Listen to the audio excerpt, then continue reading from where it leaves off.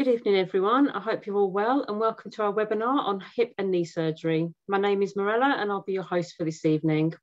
Our expert presenter is consultant orthopaedic surgeon, Mr. Alex Chipperfield. The presentation will be followed by a Q&A session.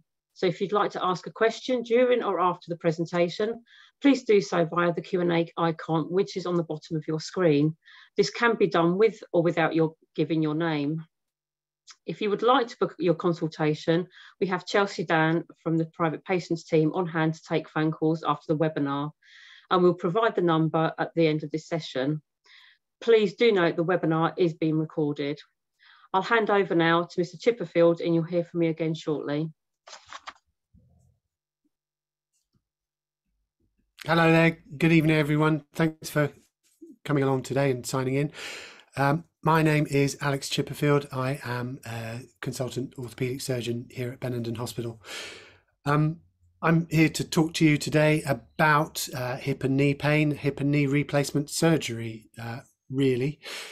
Um, normally, when we do this, there there are two of us. One of us talks about hips and one about knees. But um, unfortunately, tonight you've got me for both, so I'm sorry about that. Uh, a little bit about me. I've been a doctor now for the last 25 years. I studied medicine in London and I trained uh, as a surgeon in the southeast of England. I then went to Australia and performed uh, to, to, to, do a, a fellowship in hip and knee surgery. And since coming back from there, I've been a consultant surgeon performing hip and knee surgery in Kent for the last 12 and a bit years. Um, I've started working at Benenden around 10 years ago as part of the orthopedic consortium providing uh, hip and knee surgery here. I am a member of the British Orthopaedic Association and Hip Society, and I perform primary and revision hip and knee replacements as part of my routine practice. Um, I suppose I'm what you could call a high volume surgeon. Um, when you're looking for someone who to, to perform your hip or knee replacement you want to see you want to make sure that they are have enough experience and uh, perform the surgery on a routine basis. Uh, these figures that you can see here these give my my uh, national joint registry data the most recent data from the report published this year showing that um, i perform approximately uh, three times the number of the national average of both hip and knee replacements. So I know what I'm doing. Um, hip and knee surgery at our hospital. We're the leading provider of hip and knee treatments in Kent and Sussex. Um, if any of you have been to the hospital in the last five years, you'll appreciate that it is a, it's a lovely building. Um, it's all been refurbished and rebuilt uh, in you know around 2017 18 uh, it's a clean it's a calm environment. There's a good team around. There's an experienced team of uh, surgeons physios nurses theatre staff and all of that leads to very high patient satisfaction rates. Uh, one of the things that we're famous for in the area is the rapid recovery program to to get people up and out of hospital um, uh, as rapidly as possible following their surgery. Um, I mentioned high volume surgeons. Um, the other important thing is uh, high volume units. You want to have your hip replaced or your knee replaced in uh, in a facility that has that, that, that performs these on a regular basis. This um, again from the National Joint Registry of this year, looking at the number of hip and knee uh, replacements uh, with Benenden at the top, then compared to uh, other other local hospitals, whether it be the uh, NHS and the uh, Kent and Canterbury Hospital, or private hospitals such as the, the, the Chaucer Hospital in Canterbury or the Spire Montefiore down in uh, Brighton and Sussex. So we perform a lot of this kind of surgery here. We've got a good unit set up um, dedicated for this kind of treatment. Um, first thing I'm going to talk about tonight is is total hip replacement. So we'll we'll touch on the uh, signs and symptoms of arthritis of the hip.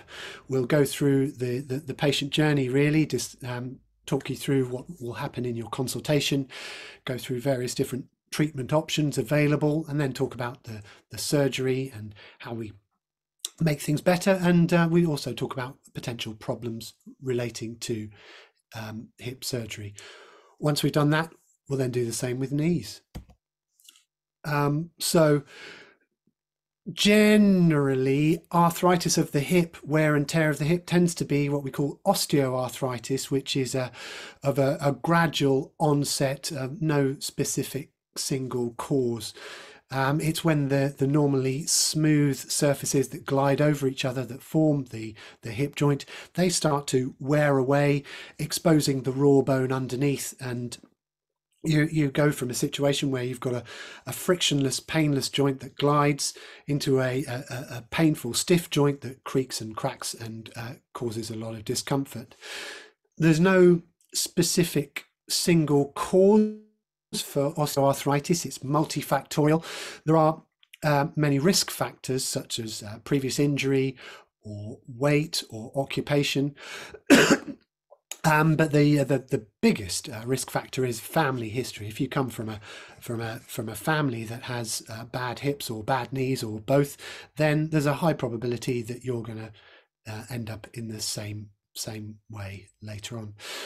Um, there is no cure for osteoarthritis. There's no pill that you can take that will make it disappear or go away. There are many different treatments that you can have for it that allow your symptoms to become manageable and tolerable. Um, and most of those symptoms, most of those um, treatments are what we call conservative treatments. So, treatments that don't involve surgery, um, joint preserving treatments. Um, should all of those conservative measures fail, then looking at um, surgery in the form of a hip replacement.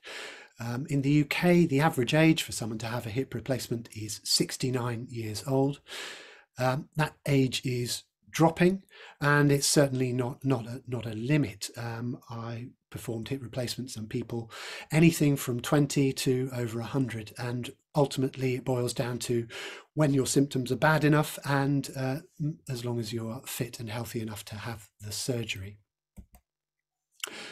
Uh, the consultation itself uh, mainly will involve a lot of talking, uh, predominantly you talking to me, um, what's called uh, taking a history. So listening to the the the story of of your problems, going from uh, how how things have come about, how they affect you, and generally building up a picture of, of how the how the worn out hip or knee is uh, impacting on your life and uh, whether it's stopping you from uh, doing anything that you that you enjoy doing or having an impact on your work or general mental health and well-being. There will then be a physical examination. This uh, is designed to see exactly how worn or otherwise the, the, the, joint may be, look at the strength and the patency of the muscles and ligaments and nerves that support and supply the, the joint, but also looking for other causes of your pain. Uh, symptoms in and around the hip joint may not come from the hip. They may be indicative of a, of a back problem or of a soft tissue problem, and it's important to exclude or confirm these um, before proceeding with surgical intervention. Um, we then look at the imaging available. We look at x rays or scans that you may or may not have already had. Uh, often people will come along to the hospital having been investigated elsewhere. And it's a fairly simple procedure to have those uh, scans transferred electronically onto the hospital system so that we're able to look at them together and I can talk you through any, any particular findings. Um, if there are no scans or imaging available, then we do have a, a, a modern imaging suite at the at, at Benenden where we can take X-rays and scans as appropriate, and those special tests we can then look at and go through to uh, reach a, a, diagnosis. Once we've done all that, then there will be a, a, a shared decision making process really to to tailor the treatment that um, is best for you at that particular time in life. Um, treatment options uh, they they they vary from from simple things that you can do for yourself, such as uh, losing weight or uh, doing exercise, which is a, generally a very good thing to try and strengthen the the muscles and ligaments uh, that can support a, a failing joint. uh, non-operative treatments including uh, physiotherapy and occupational therapy and pain relief, uh, activity modifications. Um, other options uh, would include injections in or around the, the hip joint. Um, there are many soft tissue problems around the hip joint that can be dealt with rapidly and easily in the clinic environment with an injection. If we're looking at doing an injection into the hip joint itself, then this is something that's best performed in an operating theatre under uh, X-ray guidance. So that's a, a more invasive procedure. Um, I've mentioned physio. Then, then we'd be looking at if all of those conservative and, and invasive procedures fail, then the only thing left when it comes to arthritis of the hip would be a, a hip replacement. There are no smaller operations uh, that, that, that, work uh, to, to preserve a hip joint. Once your hip looks like this person's uh, right hip here, um, then there really is no choice. Um, if you can't live with it, there really is no choice other than hip replacement surgery. The surgical journey itself starts um, with prehabilitation. Um, it's best for people to to be as strong and as healthy and as mobile as they possibly can be prior to their surgery. It means that they will get through their surgery more quickly and they will be able to recover uh, in a more rapid way. Uh, you will then have a, a pre-assessment appointment that will be where you see the nurses and the physios and Often you'll see the anaesthetist at this stage as well to discuss the, the, the kind of anaesthetic that you will be having for your surgery. The pre-assessment is very uh, important. It's uh, designed to make sure that you are fit and healthy enough to have your surgery and also to make sure that it's appropriate to have your surgery here at Benenden. Um, once that, that pre-optimization and that pre-assessment process uh, is, is, is, is done, then you will come in for your for your operation. Um, the rapid recovery program that we use here at Benenden um, starts at that pre-assessment appointment. Um, your your recovery is much quicker and much better if we start that process before the actual operation itself. So you'll get a good idea of what's expected of you before, during, and after your hospital stay. Um, the hospital stay itself, you'll be admitted on the day of the surgery um, operating we, we we operate all day here at Benenden um, and on weekends as well. Um, our, our surgical sessions tend to be split into morning and afternoon sessions. So you may well be asked to come here uh, first thing in the morning, or you may find that you, you get admitted to the ward at late morning or lunchtime if you're not going to have the operation until the afternoon. Your hip replacement will generally be under what's called a spinal anaesthetic, where you have an injection into the lower part of your back. This will put your legs to sleep. Um, on top of that, you will be offered sedation. That means that as well as your legs being asleep, you won't be aware of what's going on around you. Some people don't want to be sedated in any way and are quite happy to uh, talk and chat throughout their surgery. Um, personally, I can't think of anything worse. I'd much rather be asleep, um, but those both options are available to you. Um, typically, you'll have a, a, one or two night stay in hospital. Uh, really, that depends on how quickly you, you get up and about and you finding your feet after the operation. Uh, it's becoming more common for people to be discharged home the day after a hip replacement, um, but it's by no means mandatory. Um, we, if you have your surgery in the morning, we will have you standing up uh, on the day of the operation. Uh, it's important that you're fully weight bearing from day one, even if it's just standing or walking across the room, it means that the morning after the surgery, you you have the confidence, you know that that hip is already, you know it's sound, you know it's solid, you know it will bear your weight. And the, the focus of the hospital stay will be intensive physiotherapy and nursing care to ensure that your uh, pain is under control and your mobilization is progressing well.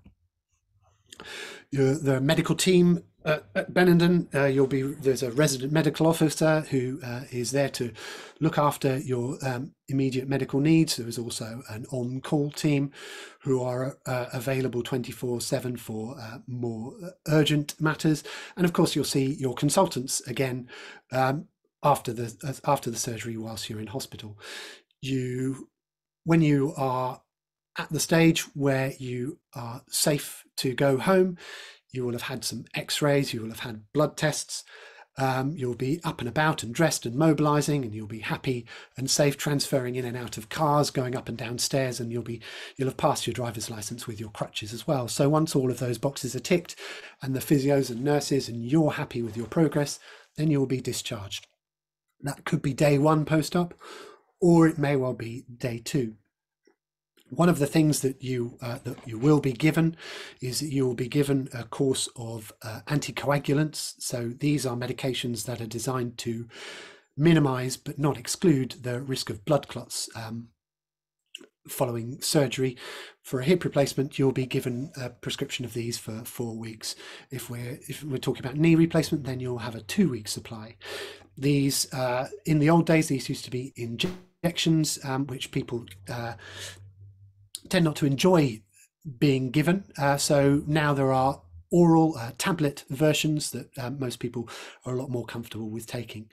You will have physiotherapy as an outpatient, and you will be uh, seen and reviewed again in the clinic by your surgeon at about six weeks down the line. Uh, we're very aware that many people uh, travel quite significant distances to have their surgery here at Benenden. Um, traveling home is generally not an, not a problem.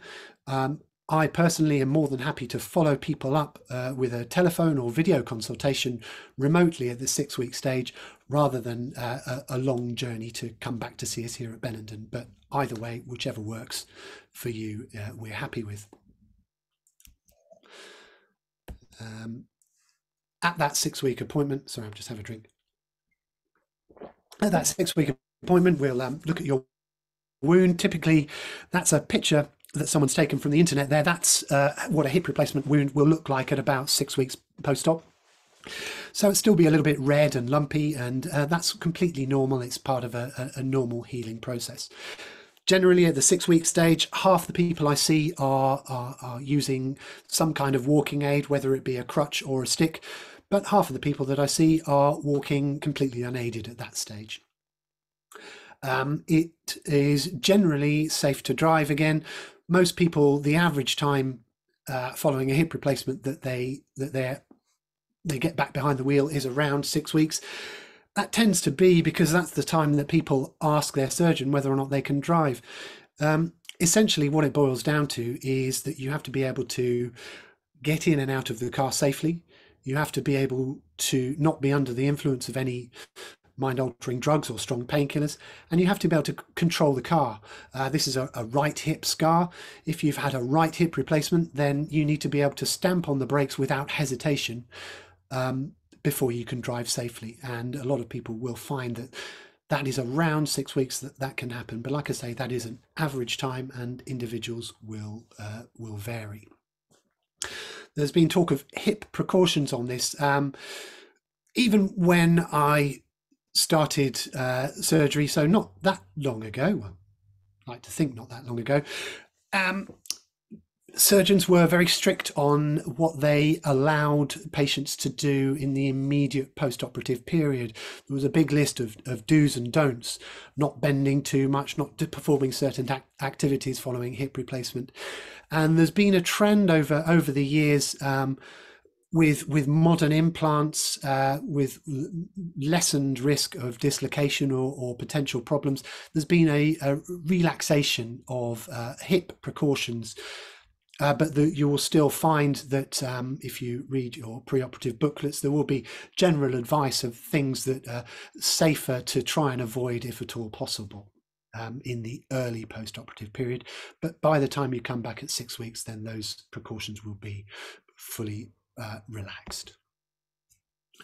There are um, complications and problems that can arise with any major operation. Um, and a hip replacement is no exception. Uh, there's a risk of infection. Uh, infection is at the top, not because it's the commonest uh, problem, but because it can be one of the one of the worst. Uh, surgeon, orthopedic surgeons in particular, we we uh, are meticulous to avoid uh, infection, and everything that we do during and after the surgery is designed to minimize that risk, but it's still can happen. The infection rate at Benenden is uh, less than 1%, which is better than the national average and certainly uh, a lot better than most other local hospitals.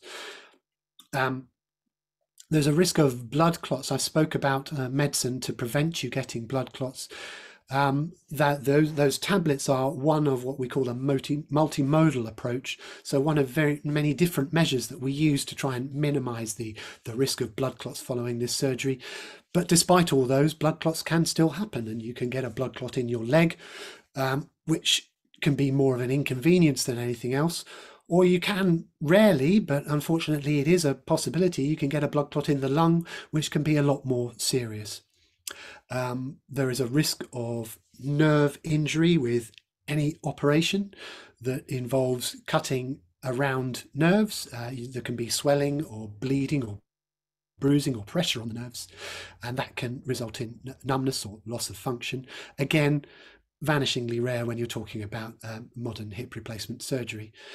Uh, dislocation, I've touched on before, uh, the uh, artificial hips are vulnerable in the early stages to dislocation, um, while the soft tissues and muscles uh, are, are, healing and strengthening around um, a, a hip replacement, then there is a risk of dislocation if you are unlucky or the um, or the, the things work their way loose, or you have a, an injury. So that can happen.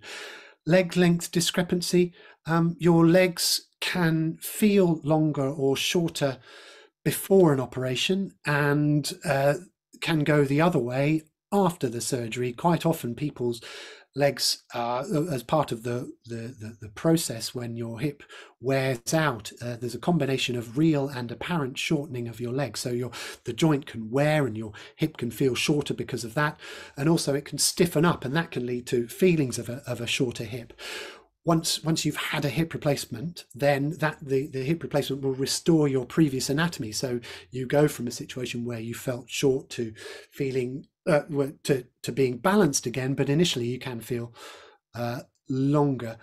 There is a we, we we plan surgery beforehand using a computer program to so we're we're, we're very accurate in how we make the cuts and how we implant the these the, these things. So the the chances of a, a significant bothersome leg length discrepancy that requires further intervention is again vanishingly small.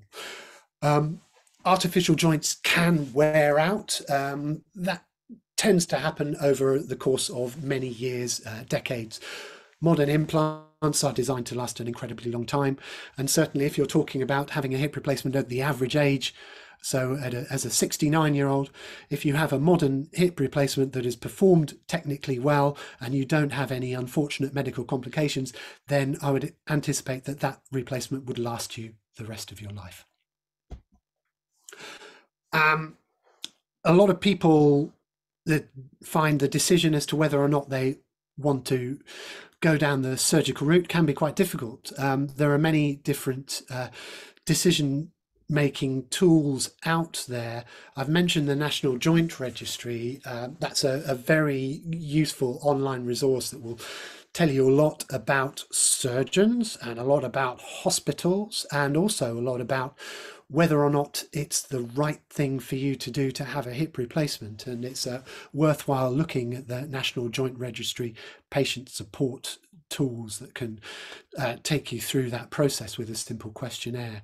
Um, you can look at the uh, PHIN, which is a, a, an online resource looking at the, that rates um, private hospitals and will give you an idea of the kind of activity levels and feedback. There are also um, lots of review sites. Um, every you can review everything these days, and I'm no exception. I get reviewed on a regular basis um, by patients on these websites. Uh, so there's a website called Doctify, which uh, you'll see uh, signs for around Benenden.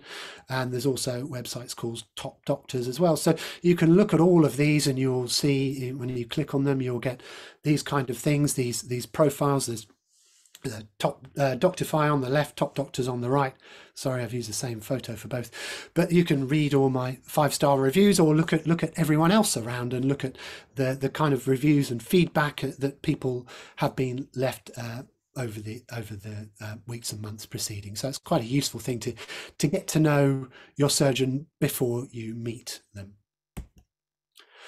Um, here is this is a, a, video. This is one of our uh, previous patients talking about uh, their their hip replacement experience here at Benenden.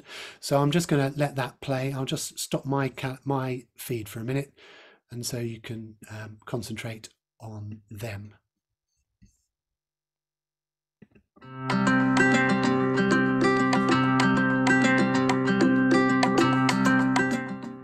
How I was feeling before was very, very, very, very, very nervous. I've never um, experienced anything like this before. I don't know what I was worried about at all. I felt no pain. Um, there was no discomfort at all, so I don't know what I was worried about. Um, as, as, far as I would suggest to anyone that's been offered that sort of um, treatment, go ahead, 100%. I was in the hospital for only the day, and um, I was up walking two and a half hours after the operation. I felt as if I could run a marathon, in all fairness. I'm hoping to be out there Sunday playing golf. I'm going back to work tomorrow, so everything's okay.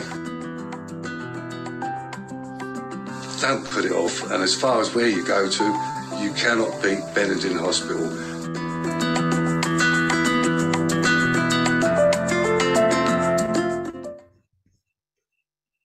There you go. Uh, completely unbiased um, video there from Andy talking about how he got on following his surgery.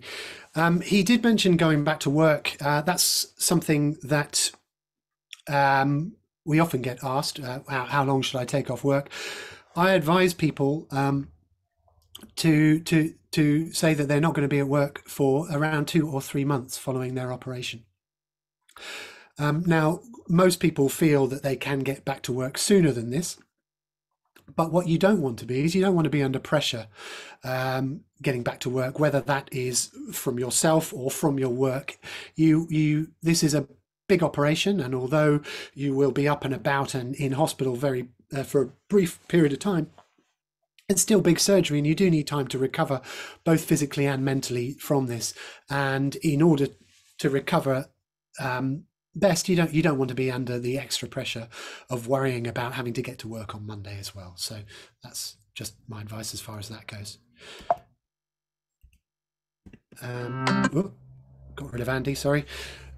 Moving on now to uh, knee replacement. So a knee replacement uh, again the the number one reason that we perform knee replacements here at Benenden and anywhere in the country, the number one is that that wear and tear, that osteoarthritis. The um, um, and again, the same the same as the hip. That is a that is a multifactorial uh, problem that generally is related to life, to injuries, to weight, and to uh, family history.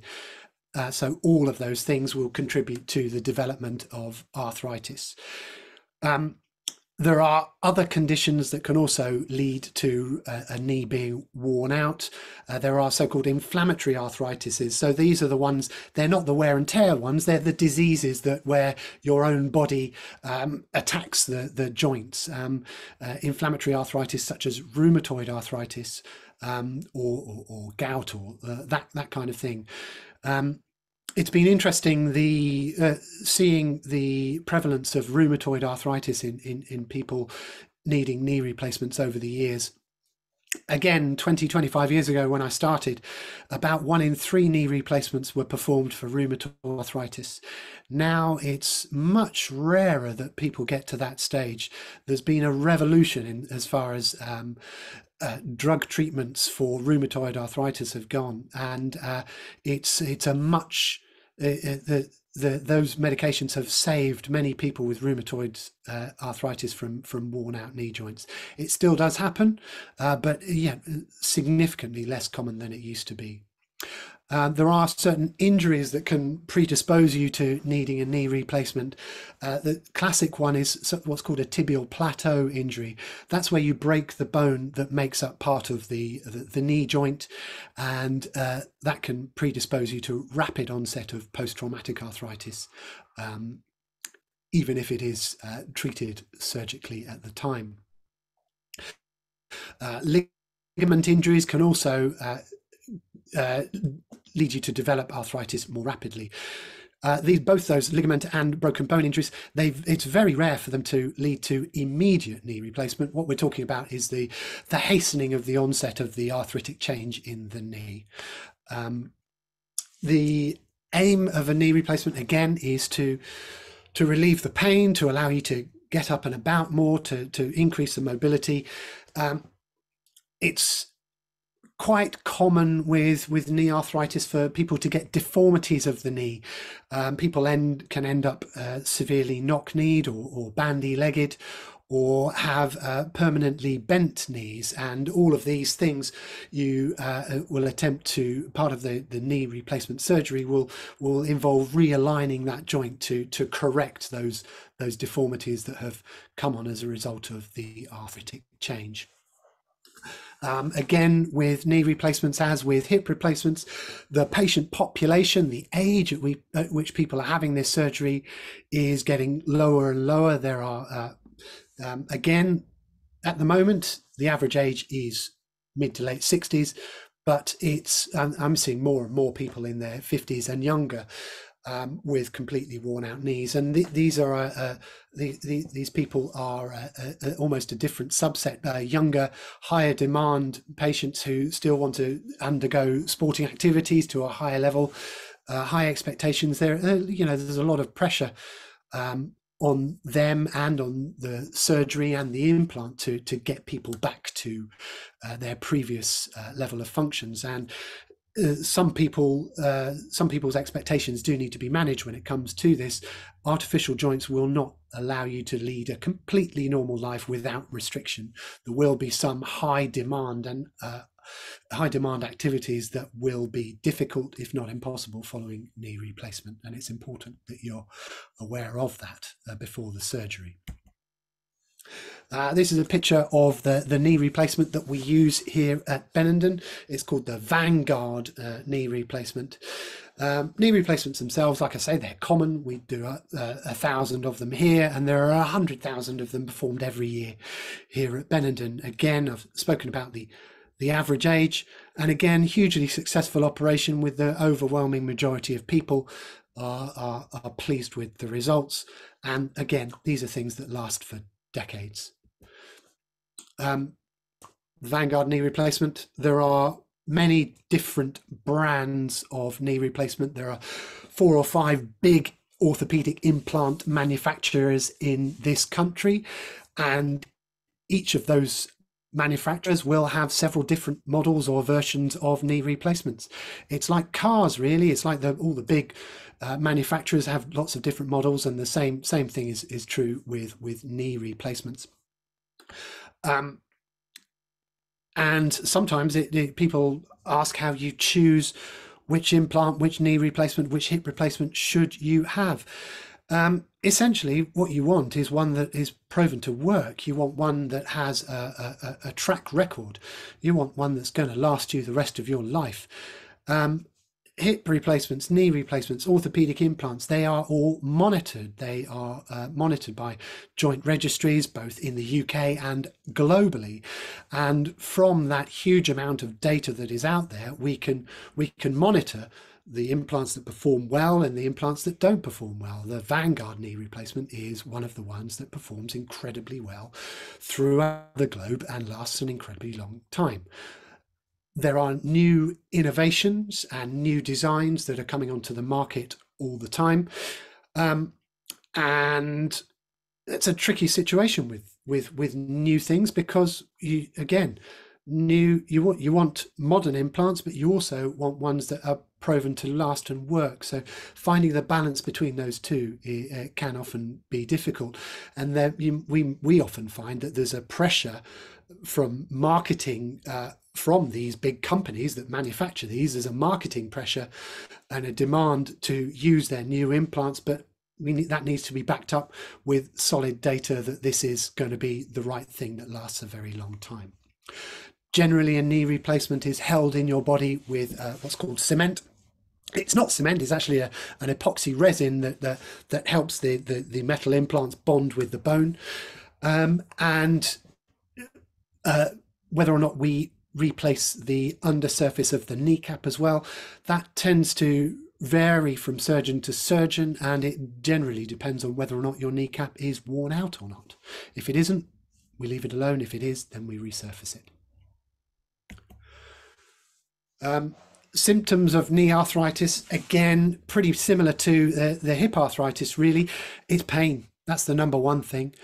Um, generally, early on in the disease, when the, when the knee is beginning to wear out, you tend to find that it's pain on doing certain things. So demanding activities, activities that have a high impact or that uh, involve a lot of twisting, turning, rapid acceleration, deceleration, change of direction, that kind of thing. You may experience some stiffness, especially first thing in the morning. Uh, there may be some clicking and grinding sensations or some swelling in the knee. What then tends to happen over time is those those symptoms will progress and the pain will become more dominant and the, uh, you go from a situation where you only get pain with activity to getting pain with rest or at night time. You'll notice a deformity that we talked about before, and you'll notice that your your world shrinks. Essentially, your walking distance decreases. The, the your activities, what you can do comfortably, um, will will will diminish as well. And there will come a point at that that um, that life living with that worn out knee uh, no longer becomes acceptable. And then we talk about uh, surgical treatments. There are, again, before we go down that surgical route, there are non surgical treatments that we've spoken about before with the hip. So, activity modification, uh, weight loss, physiotherapy, uh, strapping, analgesia, painkillers footwear changes, exercise, all of these things are incredibly important um, and can can help you live with a failing knee uh, for many years before you get to the stage where you end up needing surgery. There are injections that can be performed into the knee as well. There are injections of uh, lubricants and there are also injections uh, uh of steroids that can try and help calm down the inflammatory process inside the knee. Uh, there are other injections that are being developed at the moment. Uh, the Holy Grail, of course, is an injection that we can uh, do that will reverse or halt the degenerative process that's happening inside someone's knee. As I said previously, there is currently no cure for arthritis. Um, and the injections, the, the, the, things like PRP uh, or blood injections that that are being developed and the, the idea behind them is to try and be that cure for arthritis. Uh, unfortunately, at the moment, there is no scientific evidence that any of those newer injections make any significant difference to people in the long term, especially people with established arthritis.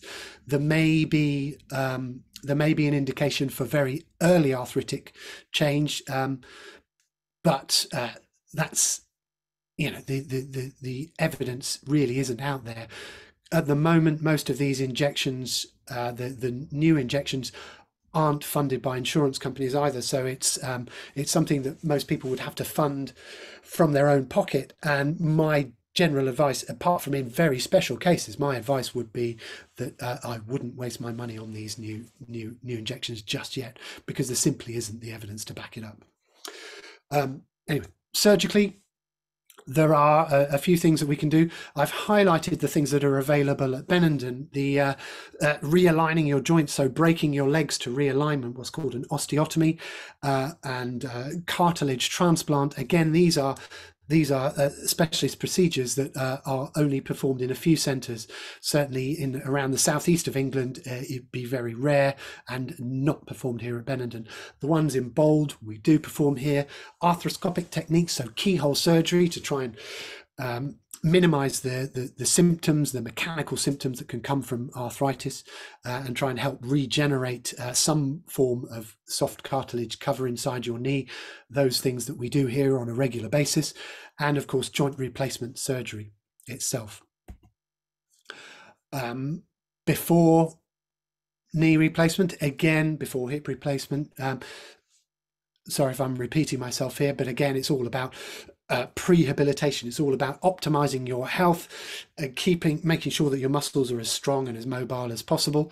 And again, that the the the, the pre-assessment process, uh, the, the the nurse, the physio, the anaesthetist is a similar process to what you what I've already described with uh, hip replacement. Um, Hip replacement, uh, there tends to be on, only one option there. That's a total joint replacement. With knee replacements, there are there are partial replacements as well as uh, uh, total knee replacements. Um, if if only one part of your knee is worn out, whether that be the, the, the inner part, the medial part, the lateral part, or even the, the kneecap joint at the front, if that's the only part of your knee that's worn and the rest of the knee is pristine and all the muscles and ligaments around that knee are normal, then you may be suitable for a, a, a partial knee replacement. Um, the advantage for a partial knee replacement is that it's you, know, you, it's uh, less of an operation. Don't get me wrong; it's still a big surgery. It still involves a, a hammer and a saw in your leg, but it's um, uh, uh, people tend to recover more quickly from partial knee replacements, and the end result, people tend to feel it feels more natural um, following a, a, a, partial than a total knee replacement. So, if you are suitable for a knee replacement, a, a partial replacement, um, we will have that discussion in the clinic. And if you agree that that's the right road that you want to go down, then that's again something that we offer here at Benenden. Um, total knee replacements uh, would be the other option. And there's x-rays. This person has had a partial knee replacement on the right and a conventional knee replacement on the left. There are other options when it comes to surgery bigger than primary knee replacement. They tend to be either for redo operations or when there's severe deformity or significant amounts of muscle and ligament damage though i've put them in brackets because they're they're, they're operations that i perform but i don't perform them in in benenden. It's not that we, we we don't offer that service at benenden hospital so that would have to be performed elsewhere. Again after the operation the inpatient stay is focused on getting you up and about and getting you comfortable and mobile as quickly as possible Again, you'll have intensive physiotherapy. Again, you'll be working on your movement and your mobility. You will have the routine x rays, you will have the blood tests. And again, you'll be in hospital one or two nights following the surgery. I must say, in my experience, it's more common for people who've had hip replacements to go home the day after. People with knee replacements tend to go home at two days. It can be a little tougher in the early stages following a knee replacement than a hip again the risks of uh, the risks involved in knee replacement surgery, fairly similar to to hip replacement. Um, you, blood loss, uh, damage to the bones or to the nerves. Again, infection is mentioned at the top because it's important, but not because it's common. Uh, again, blood clots, and I've spoken about the, the, the mitigating factors that we put in place to avoid them. Um, down at the bottom it says stiffness and swelling. That's not a, a risk of a or a complication of a knee replacement. That's a fact. Um, you you you will your knee will be stiff and swollen to start with. That's that's part and parcel of, of the early stages of a knee replacement operation. But that swelling will settle and that stiffness will improve as as everything heals and matures. Again later on down the line knee replacements can wear out. Like i've said modern implants last decades Um, I've touched on a few innovations when we're talking about um, injections, but there are new technologies out there as well with regards to both hip and knee replacement surgery. Um, the first of which is uh, customized knee replacements. These are when um, the the implant is built tailored specifically to uh, to you. Uh, the, we we there are customized knee and hip replacements. Um, these are a bit of a, a, again these tend to be more of a sales gimmick than an actual treatment. There are rarely there are people whose anatomy is so extraordinary or deformed that they have to have something built for them. But generally you know knee replacements come in multiple different sizes. Each of the components of a knee replacement comes in many different sizes. So our operating theatres stock multiple sizes shapes contours of of knee and hip replacements. And you know for 99.9% of patients your your implant is built for you in the hospital by choosing the the right size sized and sided components for you. Having to have an implant built for you is an incredibly rare thing.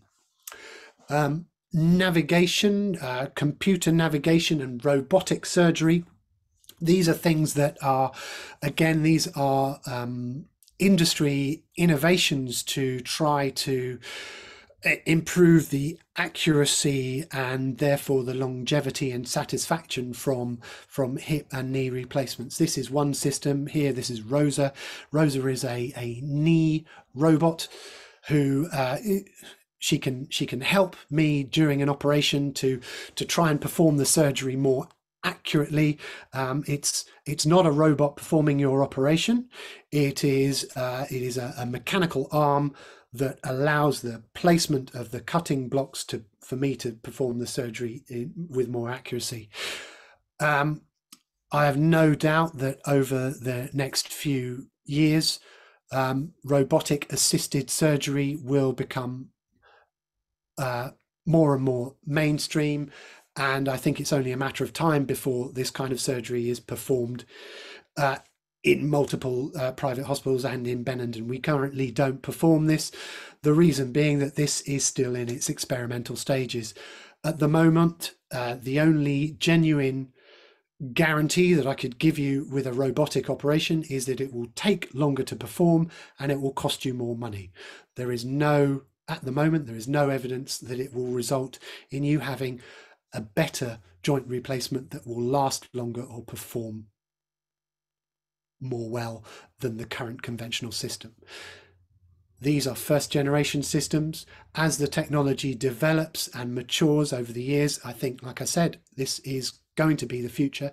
It's not there yet. Um, so it's something that uh, as a as a that orthopedic surgeons as a group are keeping a very close eye on.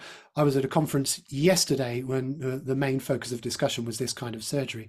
And at the moment, it goes in the experimental, in very specialist units uh, area rather than being more of a mainstream thing. But I've no doubt that that will change as things progress over the over the years. Um, I'm not the only person here at Benenden. There are many of us here who perform hip and knee replacements. Here, these are a rogues gallery of myself and my colleagues, um, all of whom are eminently qualified and happy and amenable and uh, waiting to to uh, to help you out with your your hip or knee replacement. Most of us here specialize in both hips and knees.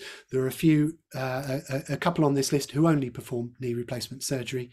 Um, but you know, all of us are local people, local surgeons with a great deal of experience, and I would be happy having my surgery performed by any one of them if I wasn't available. So there we go. Um, that's quite enough of me talking for now. I think we'll hand over for the for the Q and A session from now. Thank you, Mr. Chipperfield. Um, as you say, we'll now take some questions. Um, starting with Angela. So, um, what is the aftercare for when you return home? Um, that depends what you mean, really, Angela. Um, the the idea is that when you return home, you don't really need very much aftercare. That's the plan. Um, so, for example, your wound, we we we generally try to use uh, stitches that melt away and dissolve underneath your skin. What that means is that you don't need someone coming along every day or every other day to rip your dressing off, to look at your wound. You don't need someone to come along and take out your, your, your stitches.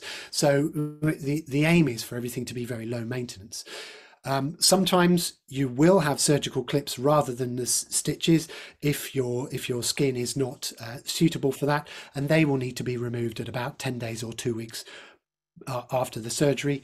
You're very welcome to come here for that, but generally most people tend to uh, have that done by the practice nurse at their local GP surgery. Um, there, you, you will be the you'll be given physiotherapy as an outpatient. Again, that can either be local to you, or you can come to to Benenden Hospital to to have that if if you are uh, local to us.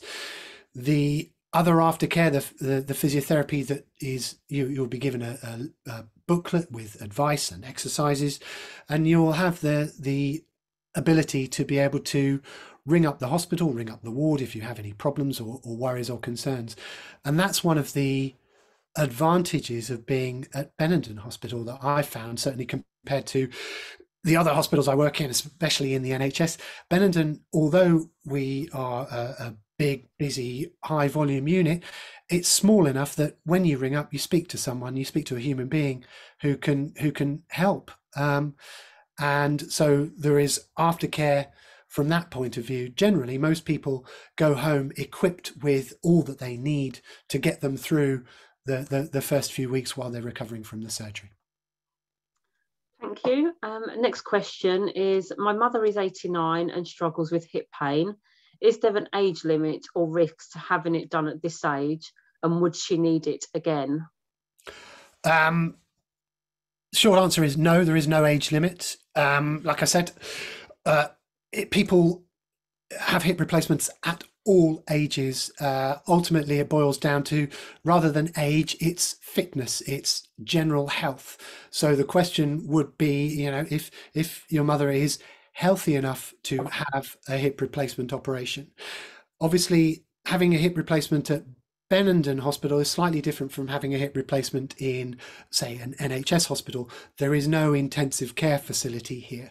So, part of the pre assessment process uh, before the surgery is to make sure that you're healthy enough to have the surgery here and to make sure that, it, that the risks are, are minimized. But no, um, 89 is just a number. What's much more important is your general health and whether or not um, it's safe to perform the surgery here. Will it need to be done again? Well, that depends on how long you plan on living, really. Like I said, these last decades, and to be honest, most 89 year olds, um, it will see them out. Thank you. Um, next question is um, I've heard of, ha of having a double hip. I have heard of having a double hip replacement. Would you operate on both at the same time? If so, would this affect my recovery? Um, it's quite tricky to operate on both at the same time because you're lying on one side, so you have to do one, then turn you over and do the other. Um, sorry, it is a it's a relatively rare thing for uh, to to do bilateral joint replacements in the same sitting. Um, I do it in my practice. I you know I, I do hundreds of these every year. And the bilateral cases, I do maybe one or two a year. It's quite rare to be in a situation where both are equally affected and you are strong enough and healthy enough to be able to go through a double operation. Will it have an impact on your recovery? Um, yes and no. It is obviously it's a much bigger operation. It's twice the size of the surgery so it it is it takes you longer to get over having both hips done at the same time than it would having one hip done. But it's quicker to get over having both hips done at the same time than having one hip done recover from it and then have the other hip done and recover from that. So your combined hospital stay and recovery is shorter with a bilateral procedure. Uh, like I say, it is it's a rare procedure to, to, to have done. It may be that your particular set of circumstances does mean that you're amenable to having that. I certainly do do perform that um, for people. Again, Another thing is whether or not it is safe and appropriate to have that surgery here at Benenden. Again, that really depends on your your, your pre-assessment. So yes, it's possible. Uh, it's unusual, but possible. Um, you will recover quicker than you would do if you had two done separately, but it will take you longer than if you'd have just had one done. Thank you for that really comprehensive answer. Um, next question is, does Benenden Hospital offer payment plans for hip and knee replacements? Um, the answer to that is yes, yes, they do. Uh, there's all sorts of payment plans available. Um, and if you speak to the, the private placement coordinators, uh, they will take you through all that as far as it goes. Thank you. Um, next question is um, I'm 61 and still work full time. I have been recommended to have a knee replacement. I do quite a bit of heavy lifting at work. Would I still be able to do this after I have recovered? Um, if you are able to do that now, then it may well be that it's not quite the right time to have your knee replaced. If you're, you know, it, it depends on the level of function that you're currently at. Um, but the, the, the short answer is is yes, you should be able to. You're not going to be able to do it immediately. It's going to take you time. Like I mentioned, I recommend that people take three months off work.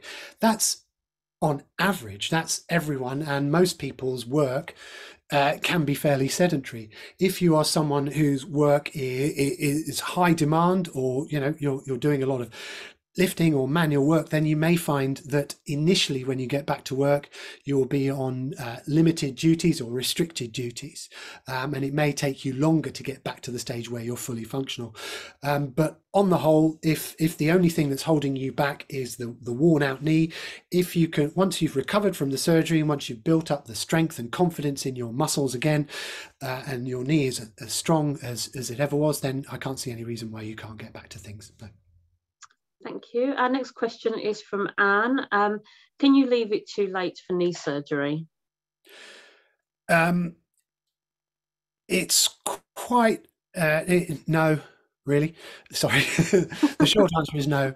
Um, the long answer is that it's something again that would have been something that we'd have seen decades ago um, that where where things are left to such extremes that the, the, the joint is no longer reconstructible.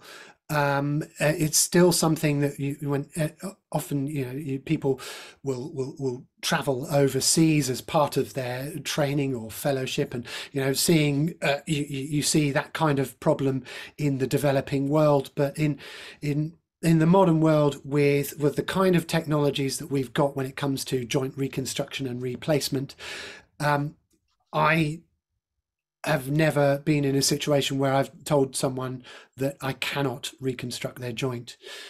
Um, you, it's it's advisable that you don't leave it so long that everything else around that joint becomes useless. So technically, being able to reconstruct the joint is one thing, but the more the really important thing is having useful and functional muscles and ligaments and tendons around that knee. So if you leave it to the stage where those muscles have withered away to nothing then yes technically you could leave it too late. But from a from a purely surgical mechanical point of view no Thank you very much. Um, our next question is from Richard. Is the route to treatment via a GP or direct to yourself? Uh, both. Uh, is the answer. Uh, GPs uh, tend to be the, the, the, the gatekeepers uh, for referrals on to what we call secondary care or hospital care. Um, and it's whether that be uh, via Benenden membership, via the NHS, or even with a with a private referral. Uh, a the, the the, the, that process will start with your GP for a number of reasons. Uh, uh, part, you know, talking about all the the steps that you normally go through before you're considering joint replacement surgery, that would could be managed uh, locally before you got to me, if you see what I mean. Um, and another reason is that it's a, a GP referral. Not on, not only will give you will give us the information about your particular condition, but also it provides us with all your your previous medical history as well. So so all the medications you're on, every operation, every hospital admission and consultation you've had will come through attached to that GP referral, and that's often quite useful and vital information when we're looking at the the rest of you. Uh, we are you know we are contactable uh, via you know directly you can ring up the, the the the the private office and i see people all the time who've self-referred as well and there's i don't have an issue with that. It may involve a few more tests before we get to the surgery uh, that would have otherwise been performed at, at the, at the, pre-hospital level but no by all means we're we're work, uh, open to every, all comers really. Thank you. Um, next question is from catherine. Um, does the pain in the hip flexor um, improve quickly after the hip replacement? Um, I've never had a hip replacement. So I can't answer from first-hand experience. What I can do is tell you about the thousands of patients that I have operated on and give you some generalizations as far as hip replacements go. Um, I am I continue to be surprised, amazed, delighted, call it what you want, at how rapidly people who've had hip replacements recover. They often describe they, they, they as soon as they come round from the anesthetic they say my pain has gone. The the the pain from that worn out hip you know it's really common that it will go. And that surprises me considering you know the the size of surgery that and you know what's involved in a hip replacement. You know it's a, it's a big operation to go through. And for people to be literally hours after their surgery say like andy uh, saying my pain is gone. It, it, it's consistently um, impressive. It, you will be sore from the operation. There's no getting away from that. But most people describe that pain as a, as a tightness or a stiffness rather than uh, uh, you know the pain that they came into hospital with. Uh, and the thing about the pain post-operative pain is generally that tends to settle um, so any pain that you do have will settle as you heal but the that initial pain doesn't always but the vast majority of people who have hip replacements, they are really pleased uh, about how quickly that pain goes away. Thank you very much. Um, next question um, is from Jenny. I live in Northern Ireland. Is it okay to fly after surgery? Um, the there, there are a few things when it comes to flying. Um, the first one is the, the logistics of flying. Um, sitting in a cramped economy class seat with high sides, putting pressure on your legs and your wounds, sitting in that position for an extended period of time will be uncomfortable and painful and difficult. Uh, the second thing, uh, but there are ways around that. Uh, the second uh, risk is a risk of developing blood clots uh, like we've said before, there's you know there is a risk of blood clot, and that risk is increased by having joint replacement surgery. The other thing that uh, increases your risk of surgery is air travel. That combination of stasis, of pressure changes, of dehydration, and it's a perfect environment in an aeroplane to to put you at a higher risk of a blood clot. Uh, generally, the advice that uh, that we give that comes from the national uh, national guidance when it comes to travel following joint replacement surgery is that you don't fly for six weeks following a hip or a knee replacement. For the next six weeks, so up to three months after the operation, it's okay to travel short haul, so four hours or less. And then from three months onward, unrestricted travel.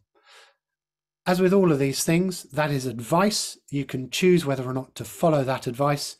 Uh, no one's going to turn you away at the gate um, because you've had surgery sooner or later. Um, if I were you um, in Northern Ireland, um, I would get the ferry across, which is miserable, but um, at least you are not putting yourself at a, a higher risk and you can uh, walk around and stretch your legs. Your journey time may be longer, but your risk of blood clot will be significantly less. Thank you very much. Um, and just our last question of the evening is from Linda. Um, I live two and a half hours away from Benenden. How will physiotherapist be arranged? Um, so, like I said, Benenden do offer physiotherapy at the hospital. A five hour round trip for that wouldn't really be sensible as far as I would suggest. Um, so, the the, the, there are two options really, uh, and it's best that you ask this question now because it's something that you really need to arrange in advance. What you don't want to be do, doing is being discharged from hospital and then think, "Oh crikey, I need some physiotherapy." Um, the, so there are two ways that you can do it. Number one would be through through arranging uh, physiotherapy through Benenden. Um, Benenden have a network of approved physiotherapists spread around the country, and there may well be one that is local to you. That referral process will have to go through head office in York, and that's something that you would need to arrange through that. It's not something that can be arranged at this hospital, then referring you to a Benenden physio locally.